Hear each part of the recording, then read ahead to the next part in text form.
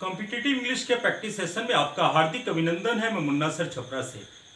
आज की इस बुकेब सीरीज़ में हम इडम्स एंड फ्रेजेज के ऊपर चर्चा करेंगे तो आज की सीरीज़ का पहला शब्द।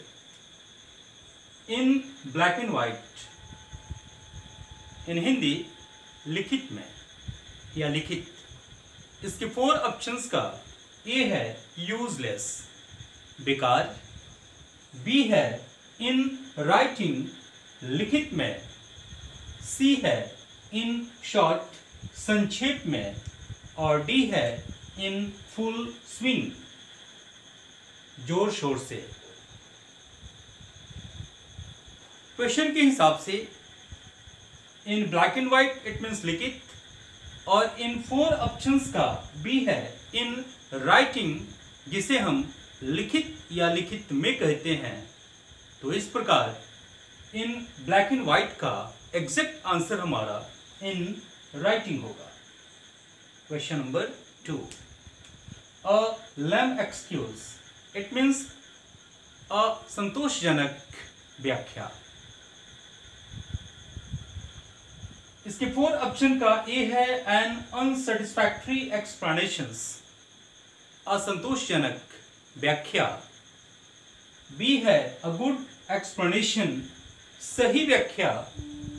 सी है यूजलेस टॉक बेकार की बात. और डी है इल फीलिंग्स बुरा एहसास. क्वेश्चन अ लैम एक्सक्यूज असंतोषजनक. व्याख्या?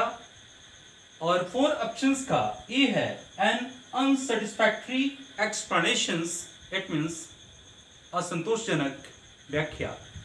तो इस प्रकार लम एक्सक्यूज का एग्जैक्ट आंसर हमारा एन अनसेटिस्फैक्ट्री एक्सप्लेनेशन होगा।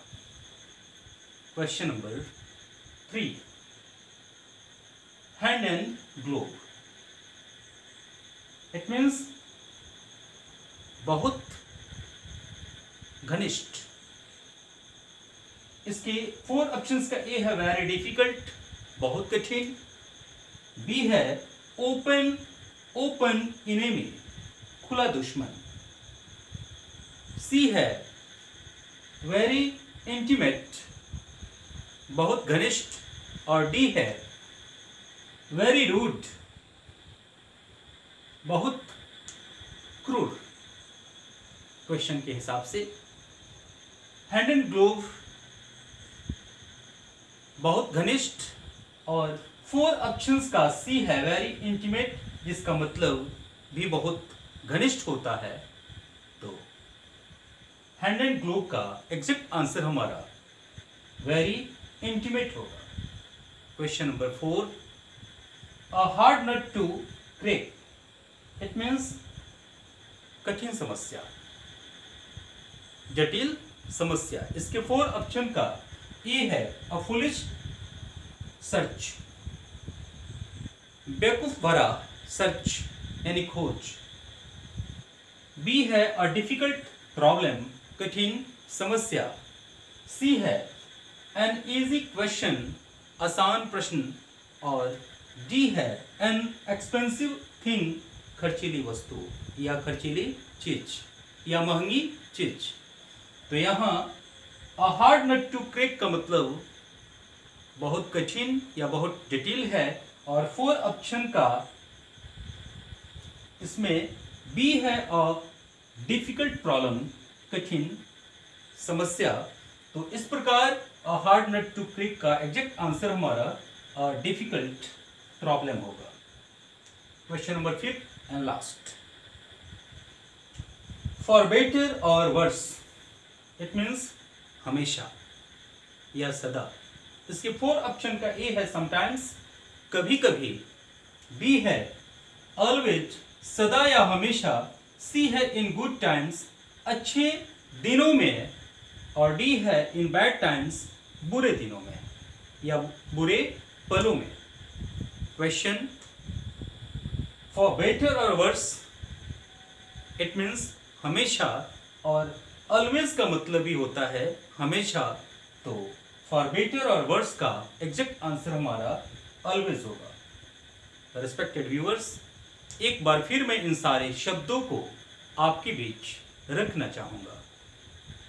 Question number one in black and white it means लिखित या लिखित में।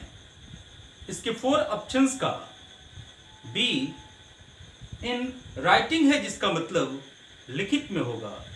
तो इस प्रकार इन ब्लैक एंड व्हाइट का एग्जैक्ट आंसर हमारा इन राइटिंग होगा। Question number two lame excuse it means असंतोषजनक व्याख्या। इसको भद्दा मज़ाक भी कहते हैं। इसका एग्जैक्ट आंसर हमारा एन अनसेटिस्फैक्ट्री एक्सप्लानेशन होगा। क्वेश्चन नंबर थ्री है हैंड एंड ग्लोब इसे हिंदी में बहुत घनिष्ठ कहते हैं। इसके फोर ऑप्शंस का सी है वेरी इंटीमेट जिसका हिंदी मीनिंग बहुत घनिष्ठ होता है। इस प्रकार हैंड एंड ग्लोब का एग्जैक्ट आंसर हमारा वेरी इंटीमेट होगा। क्वेश्चन नंबर फोर है a hard nut to crack का मतलब डिफ़िकल्ट प्रॉब्लम होता है, जिसे हम कठिन समस्या बोलते हैं। फोर ऑप्शंस का ये है अ डिफ़िकल्ट प्रॉब्लम जिसका मतलब कठिन समस्या और अ हार्ड नट टू क्रिक का मतलब ही कठिन समस्या होता है। तो इस प्रकार हार्ड नट टू क्रिक का एग्जैक्ट आंसर हमारा अ डिफ़िकल्ट प्रॉब्लम होगा। और आखिरी शब्द है फॉर बेटर और वर्स जिसे हिंदी में हमेशा कहते हैं, इसका एग्जैक्ट आंसर हमारा ऑलवेज होगा। तो उम्मीद है आज की यह कंटेंट आपको पसंद आएगी। ऐसे ही इंटरेस्टिंग कंटेंट के साथ मिलते हैं अगले वीडियो में। तब तक के लिए अनुमति दें। जय हिंद।